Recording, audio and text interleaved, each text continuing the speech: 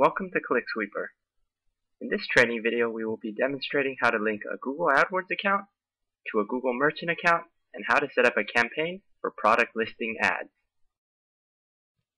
The first step is to link your Google AdWords account to your Google Merchant account.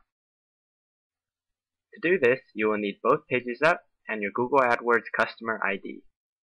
Your customer ID can be found at the top right corner of the page when you log into your Google AdWords account. Go ahead and log into your Google Merchant Center account. Once you've logged in, select the Settings option from the menu on the left, and under that, click AdWords. Scroll down and you'll find a field where you can enter your AdWords customer ID. Go ahead and enter it and press the Link Account button. Now you're all set. Once you have your Google Merchant Center and Google AdWords accounts linked, the next step is to create a new standalone campaign that will run your product listing ads and manage bidding by product level. Now head to your Google AdWords account. You will want to create a new campaign. Select Search Network Only. From the campaign setup screen, choose Product Listing Ads for the campaign type. Scroll down and select all your desired settings until you reach the bottom.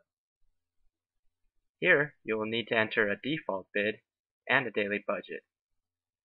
Below that, it'll ask you for the correct extension. Select the correct one, then save and continue. Next, set an ad group name and fill out the optional promotion field. The promotion field is meant for any types of sales promotions you would like the customer to be aware of. From the Auto Target section, uncheck the All Products box. A prompt will appear stating that this ad group isn't quite ready yet and that you must have product targets for your product listing ads to run. Go ahead and save your ad group.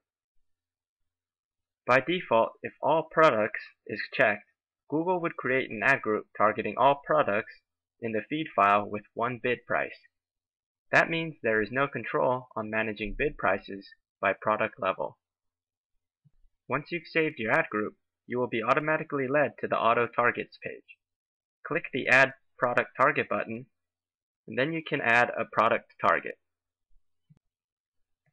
First, select an attribute. Then enter the attribute value from the Google Merchant Center feed file. Once you've done that, click the Validate button. Repeat it until you finish adding all your products. Google provides six different attributes, and you can choose ID or AdWords labels to manage bids by individual product level.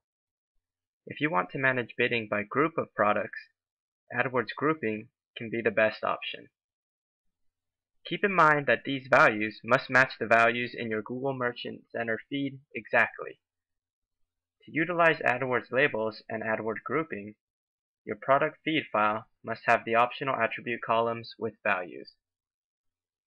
Once you've saved, you can now see the list of all products with individual bid fields, and you are now ready to manage bidding for product listing ads by product level. ClickSweeper also displays product listing ads by product, and if you run ROI driven bidding, you will have full control on managing product listing ads by product level. That concludes this presentation. Thank you for watching from the ClickSweeper team.